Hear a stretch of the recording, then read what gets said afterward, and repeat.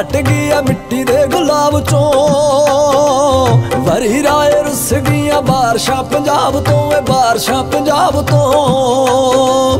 ਬਾਬੇ ਨਾਨਕ ਨੇ ਦਿੱਤੀਆਂ ਸੀ ਜ਼ਿੰਮੇਵਾਰੀਆਂ।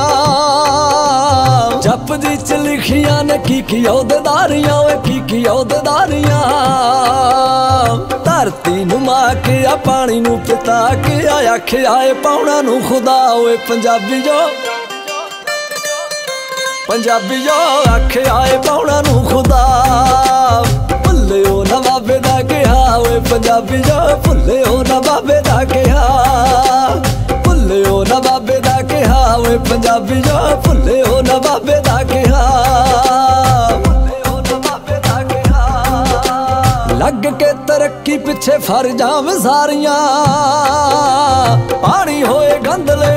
ਹਵਾਵਾਂ ਚ ਬਿਮਾਰੀਆਂ ਹਵਾਵਾਂ ਚ ਬਿਮਾਰੀਆਂ ਆਉਣ ਵਾਲਾ ਵਕਤ ਬਚਾ ਲੋ ਵੀਰ ਮੇਰਿਓ।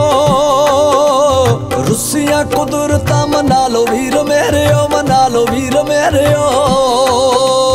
ਆਪਾਂ ਨੇ ਅਤੀਤ ਵਿੱਚ ਕੀਤੇ ਨੇ ਗੁਨਾਹ, ਜਿਹੜੇ ਉਹਨਾਂ ਦੀ ਹੀ ਮਿਲੀ ਐ ਸਜ਼ਾ। ਓਏ ਪੰਜਾਬੀਓ ਉਹਨਾਂ ਦੀ ਹੀ ਮਿਲੀ ਐ ਸਜ਼ਾ।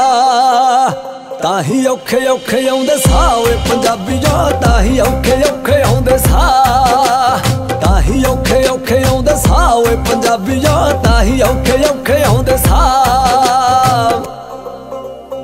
ਕਰਦੀਆਂ ਦਾਵੇ ਹਰੇ ਕਰਕੇ ਵਿਖਾਉਣ ਦੇ ਸੁੰਨੀਆਂ ਜ਼ਮੀਨਾਂ ਸੱਦੇ ਦੇਣ ਰੁੱਖ ਲਾਉਣ ਦੇ ਜੀ ਦੇਣ ਰੁੱਖ ਲਾਉਣ ਦੇ ਪੱਤ ਝੜ ਬੂਰ ਪੂਰੇ ਸਾਲ ਕਲਾਕਾਰੀਆਂ। ਹਰੇ ਹਰੇ ਰੰਗਾਂ 'ਚ ਕਮਾਲ ਕਲਾਕਾਰੀਆਂ ਕਮਾਲ ਕਲਾਕਾਰੀਆਂ। ਠੰਡੀਆਂ ਹਵਾਵਾਂ ਦੇਣ ਸੰਗਣੀਆਂ ਛਾਵਾਂ ਦੇਣ, ਵੱਡੀ ਗੱਲ ਵੰਡਦੇ ਨੇ ਸਾਹ ਓਏ ਪੰਜਾਬੀਓ, ਵੱਡੀ ਗੱਲ ਵੰਡਦੇ ਨੇ ਸਾਹ।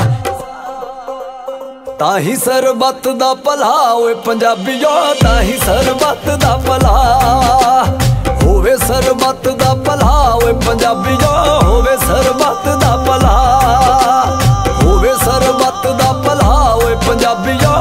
सर्व